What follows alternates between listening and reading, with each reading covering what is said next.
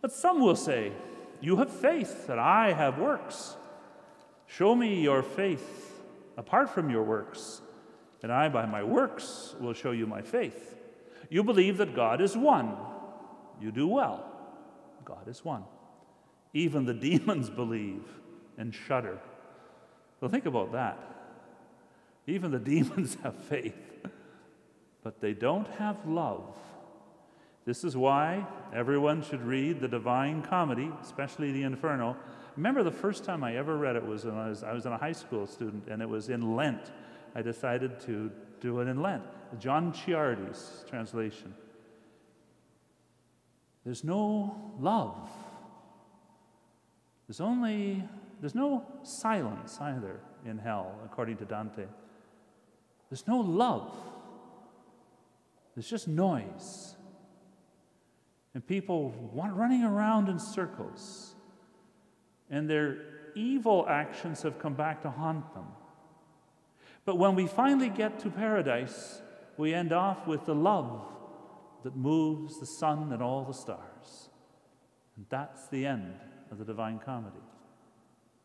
And it is the end of life. It is what we're all here for. The demons believe without love and shudder.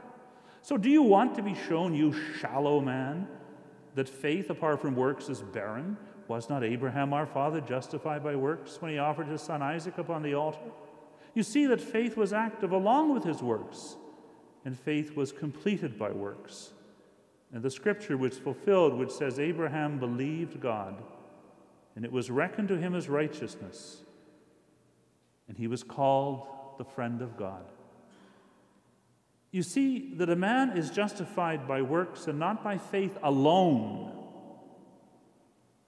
And in the same way, was not Rahab the harlot justified by works when she received the messengers and sent them out another way? For as the body apart from the spirit is dead, so faith apart from works is dead. And so, for the second time, he says that.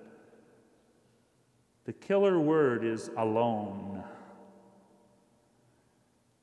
Which facet of the diamond makes the diamond?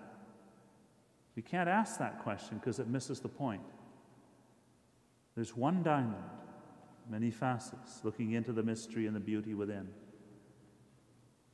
And so faith, hope, and love, they're all there, all one, undivided, in fact, and lived in our lives. So faith together with works, with love faith, hope, and love. This is what we're called to.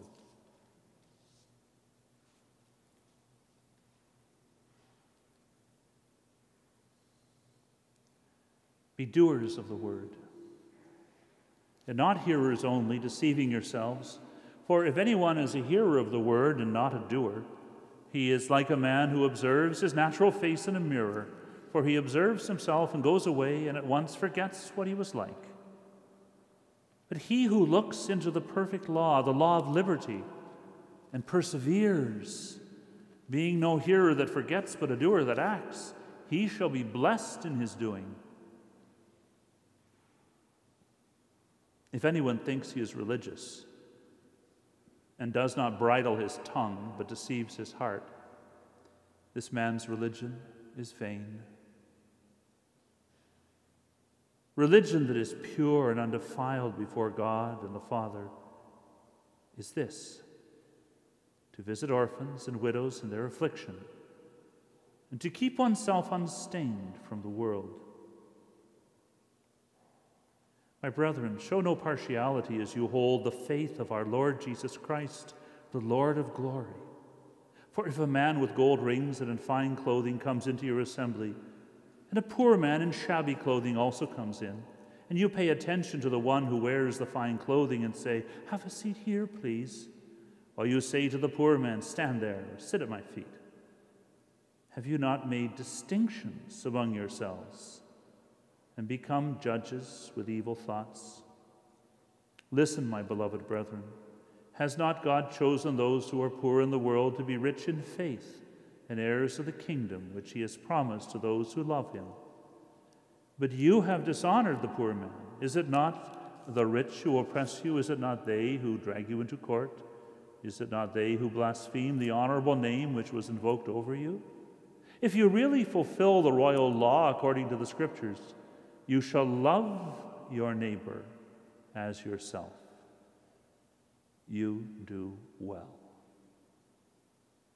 But if you show partiality, you commit sin and are convicted by the law as transgressors.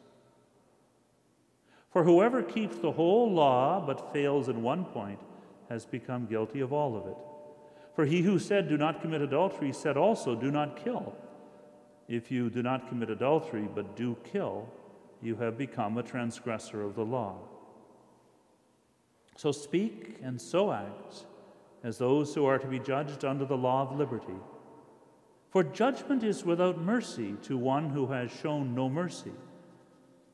Yet mercy triumphs over judgment.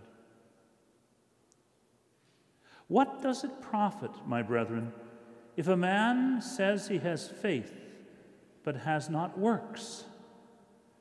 Can his faith save him? If a brother or sister is ill clad and in lack of daily food, and one of you says to them, Go in peace, be warm and filled, without giving them the things needed for the body, what does it profit? So faith by itself, if it has no works, is dead.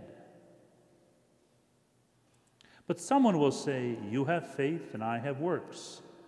Show me your faith apart from your works, and I, by my works, will show you my faith. You believe that God is one, you do well. Even the demons believe and shudder. Do you want to be shown, you shallow man, that faith apart from works is barren? Was not Abraham our father justified by works when he offered his son Isaac upon the altar?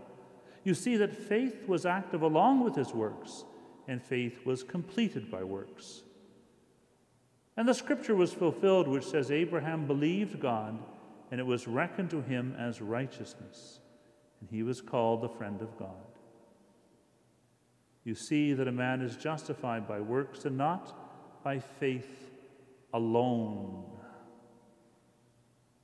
And in the same way, was not also Rahab the harlot justified by works when she received the messengers and sent them out another way? For as the body, apart from the spirit, is dead, so faith apart from works is dead.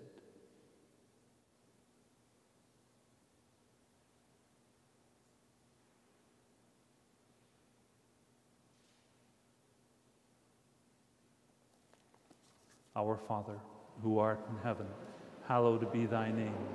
Thy kingdom come, thy will be done on earth as it is in heaven. Give us this day our daily bread and forgive us our trespasses, as we forgive those who trespass against us. And lead us not into temptation, but deliver us from evil. Amen. Hail Mary, full of grace, the Lord is with thee. Blessed art thou among women, and blessed is the fruit of thy womb, Jesus. Holy Mary, Mother of God, pray for us sinners, now and at the hour of our death. Amen. Glory be to the Father and to the Son, and to the Holy Spirit, as it was in the beginning, is now, and ever shall be, world without end. Amen. In the name of the Father, and of the Son, and of the Holy Spirit. Amen.